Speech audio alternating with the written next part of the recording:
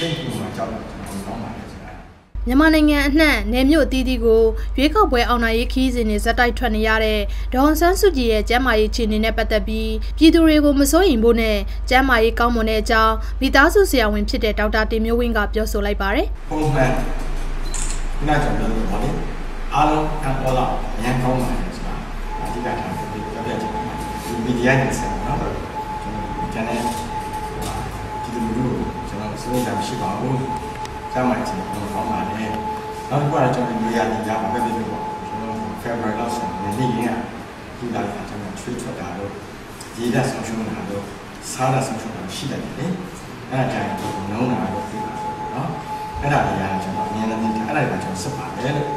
ကျွန်တော်တက်တယ်ပေါ့နော်ဒီမှာစားမှာဆိုလဲဗီဒီယိုဗီဒီယိုကမျိုးတွေလည်း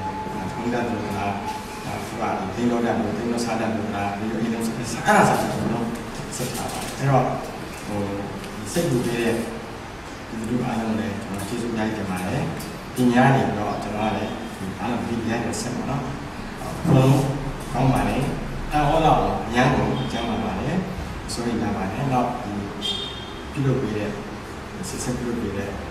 ဆရာဝန်ကြီးတွေဒါဆေးရုံတွေလည်းကျွန်တော်ကျေးဇူးတင်ပါတယ် ဖေဖော်ဝါရီလ22ရက်နေ့ကဒေါက်တာတင်မျိုးဝင်းရဲ့အမှတ်152လမ်းငားလွှာမှာရှိတဲ့ဂယုနာလာရိတ်လူမှုရေးကူညီမှုရုံးခန်းမှာသတင်းတောက်တွေကိုဖိတ်ခေါ်ပြီးပြောဆိုလိုက်တာဖြစ်ပါတယ်ပေါင်းတော့အဲ့ person ကိုထားလို့ဆိုတော့မင်းတို့ဘိုင်းမှာပတ်သက်ပြီးပြောပြရတယ်အဲကျွန်တော်ကဒါက person to person ဆိုတာ major operation ပေါ့နော်ကျွန်တော်မြေစေးကြီးတဲ့ဒီပေါ့ နေရင်ကျဲကျုပ်ကြခံနေရစဉ်အတွင်းဒေါ်ဆန်းစုကြည်ရဲ့ကျမ်းမာရေးခြေအနေနဲ့အခုပြန်လည်လွတ်မြောက်လာပြီးနောက်ပိုင်းလှုပ်ရှားမှုတွေနဲ့ပတ်သက်ပြီးသတင်းတောက်တွေဘက်ကတိလိုတာတွေမေးမြန်းခဲ့ပါတယ်ဒီကလေးကိုအကျေကျုပ်လုံးကပေါ့နော်ကျမ်းမာရေးအခြေအနေအခုတော့အလုပ်တွေအားများနေတယ်ကျမ်းမာရေးအခြေအနေအဲ့မှာဒါဆရာမပေါင်းချက်တွေရတယ်။အိုး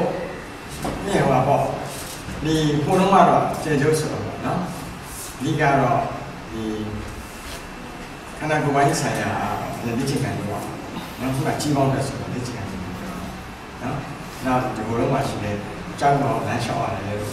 ဟိုကိုတယောက်တည်းလက်ချင်ကန်တော့ရတယ်နောက်နေ့ track ဆိုတာလေနော်လမ်းလျှောက်တော့နော်အဲ့တော့အခုကကြတော့အလုပ်များနေပြီလားလက်ချင်ကန်ဖြစ်သွားအဲ့တော့ကျွန်တော်တယောက်တည်းမြင်ပြောရမယ်ဆိုရင်အခုကအဲ့ဒီတည်းကတော့ဟိုကျမ်းမာရေးကောင်းတယ်ဒေါက်တာတင်မျိုးဝင်းကတော့ဒေါ်ဆန်းစုကြည်ကိုတပတ်နှစ်ကြိမ်ကျမ်းမာရေးခြေအနေစစ်ဆေးပေးမှုပြုလုပ်ပေးနေတယ်လို့ဆိုပါတယ်လောက်ရတဲ့အကြောင်းနဲ့အဓိကကခုနက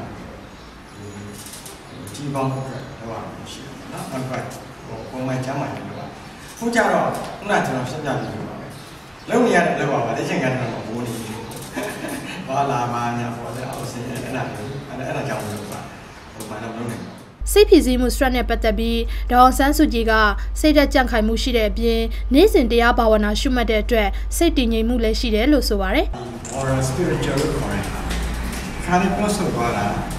ကြာသွားတာ စိတ်ညစ်သွားစိတ်ဟိုပါစိတ်ကကြောက်ခါမှကြောက်တွေ့လို့ဒီနေ့နဲ့ဆယ်ပေါ့။88ခရရ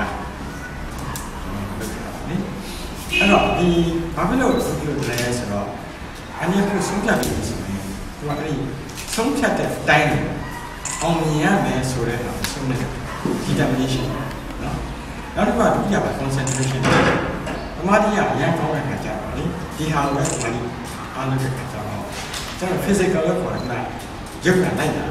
ဒီစိတ်ပိုင်းဆိုင်ရာညာဒါတော့အနည်းရဒီစိတ်ပိုင်းဆိုင်ရာကအားလုံးသဘောပေါက်ပါပါတယ်ဒီစိတ်ဓာတ်ထက်မြက်မှုလို့ကြိုက်ခံရတာဆိုတော့ဆရာ